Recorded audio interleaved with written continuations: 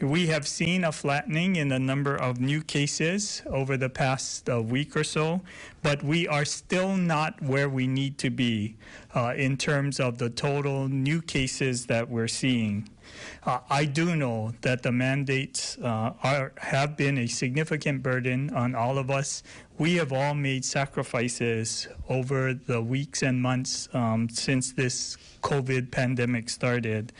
And I know that many of you feel trapped at home, uh, and businesses and people all across the state are suffering.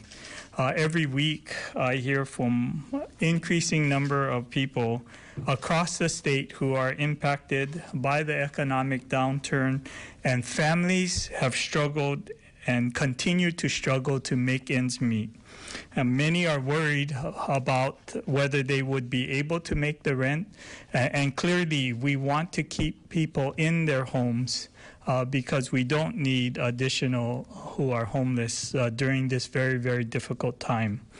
Earlier this year, I, I ordered a moratorium uh, statewide on rental evictions that is effective through the end of September. But we must do more to keep families in their homes. Today, I'm pleased to announce the launch of the State of Hawaii Rent Relief and Housing Assistance Program. I want to publicly thank our private sector partners, the Aloha United Way and Catholic Charities, who will help us administer this program. Working with the legislature, we directed $50 million out of the 100 million Federal CARES Act funds appropriated uh, for rental relief. This first phase will provide vital program to provide rentals with assistance in making monthly payments uh, from August 1st through the end of the year. Final details for the second phase, which covers rents and mortgages from March 1st, uh, will be announced uh, shortly. The remaining balance of $50 million will be dedicated to support this program. In total, we are providing $100 billion to the people of Hawaii to help them pay for housing, stay in the housing that they have uh, at this time. The rental assistance program will be much needed will be a much needed reprieve for Hawaii households trying to make ends meet during this difficult times. With me today is Denise Iseri Matsubara, Executive Director of the Hawaii Housing Finance Development Corporation, to discuss the details of this program. Also with us today are our private sector partners, Rob Van Tassel from Catholic Charities, and John Fink from Aloha United Way. I also want to uh, send a special thank you um, to Senate President Ron Kouchi and Speaker Scott Saiki and all the members of the state legislature who recognize that helping our community and helping people in our community is priority for all of us uh, during this pandemic COVID-19 crisis. Uh, and and I did want to also announce that we received word this morning that another week of unemployment benefits uh, will be provided. Uh, so we will be able to provide $300 additional U UI benefits uh, for a total of five weeks uh, since the end of July. All of us need to work together in order for us to battle COVID-19.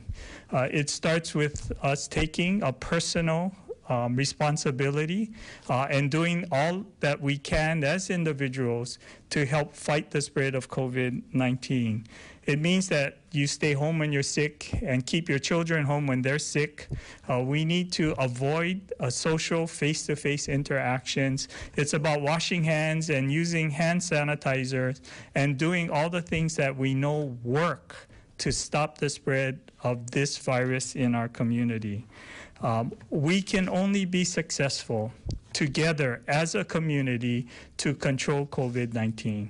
So please uh, take care of yourself take care of each other, and most importantly, help to take care of our community. Thank you.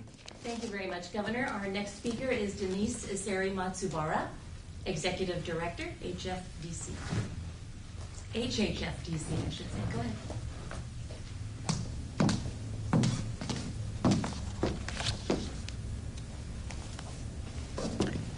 So, good afternoon. Thank you, Governor. We are so glad that we can now offer this new program because we know the need out there is so great.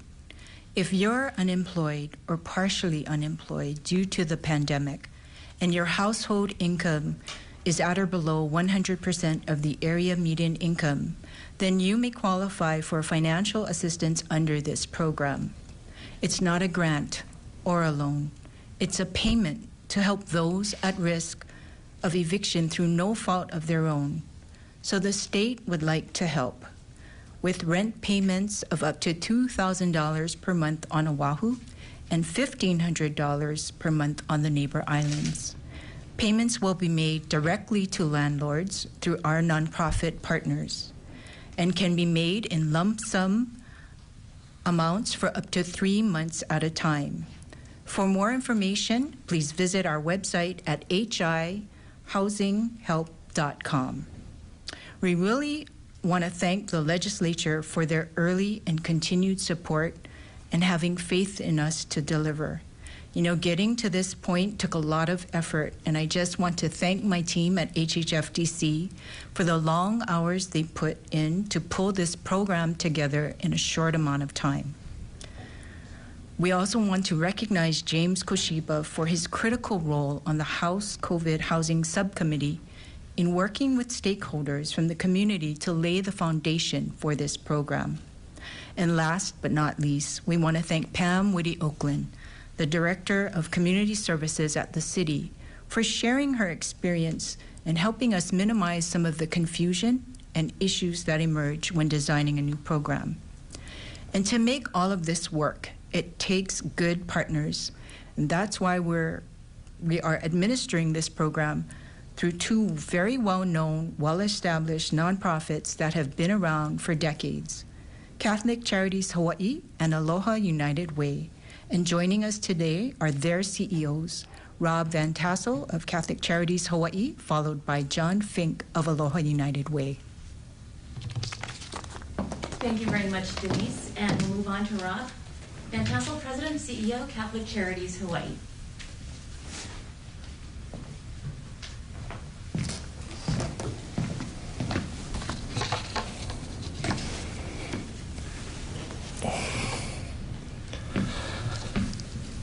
Thank you, Denise. Thank you, Governor. Aloha. Catholic Charities Hawaii is grateful to have been selected by the state to provide emergency rental assistance to the residents of Hawaii. We thank Governor Ige, the state legislature, and our congressional delegation for these federal CARES funds designed to help the people of Hawaii during these urgent times. Our dedicated statewide organization has been serving Hawaii for the past 73 years with core values of compassion, dignity, social justice, and a commitment to excellence. Many of our existing programs address housing and homelessness, including rental assistance. This is what we do. This is who we are, and we're honored to help. We serve everyone regardless of faith or culture. Catholic Charities Hawaii understands that many have been furloughed or lost their jobs through no fault of their own, and now they need financial relief. This program works to keep people in their homes, safely sheltered, and ensures landlords are properly compensated. People are being asked to stay at home during this pandemic so the focus right now must be that we all have a home. This program makes a big step towards accomplishing that goal. Both nonprofit organizations have reached out to other groups, ensuring that we can reach as many people who are as qualified. Catholic Charities Hawaii is partnering with local renters, realtors, labor unions, and other nonprofit groups to reach those who need rental assistance. It's important to note that this assistance program is open to anyone who qualifies and is available on all islands. The application form is available at our website, CatholicCharitiesHawaii.org. If you believe you qualify, please go to this website. You may also call 521 HELP. That's 521 4357. For those laid off or for the, for the jobs for the first time, this is a very traumatic experience. Please know that we're here to help and provide hope. Please call our number, 521 HELP, or go to our website, and we will assist you. Mahalo. Now I'd like to introduce the President and CEO of Aloha United Way, John Fink.